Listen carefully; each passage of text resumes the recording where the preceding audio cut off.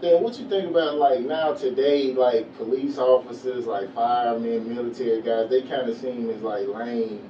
And like you know, when I was younger, like my mom used to be like them, like the best kind of men to like get with and marry. But now today, they looked at as like lame and stuff like that because they don't make enough money. I mean, they actually make a lot of money.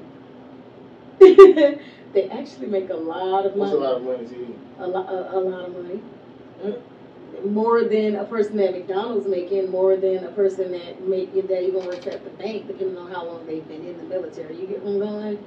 So, um, I mean, I think you're using the money, you're using monetary as the issue, or just saying that they're lame there, or you've heard that. But I think people sometimes stereotype them as lame because they don't like to get in a lot of trouble because they lived a structured life when they were in the military. You get where I'm going? And it was a lot of things that they just weren't allowed to do.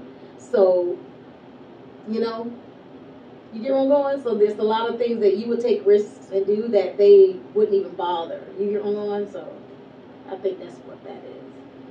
I don't know about that. It seems like it's money. Like it's, It's not. Would, would like prefer to date The average would- military person, like at 19, can go and get a loan on a house. They use their VA loan. They don't have to put anything down, and they can get a two hundred thousand dollar house. Versus you, you can work at McDonald's for like two, four, five, six, ten years and can't put down.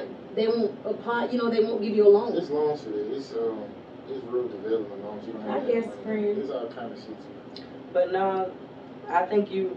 I think if There's information about a lot of stuff. It's financial security, and they have it. They have a constant check coming in on the first and the 15th, and then when they're retired, every first of the month. Like the government banks, they see that they're going to get paid, so they have no problem with giving an 18, 19 year old that just came in the military a house, a car, whatever they want. You get where I'm going? Because they know that they're going to get their money. And what the government normally does too, I don't know if they still do this, so I don't want to quote. I'm gonna just say allegedly is oftentimes if you renege on one of your payments for your car, they let your upline know, your lieutenant and all them, they get on you, and oftentimes they'll just take that stipend out your pay.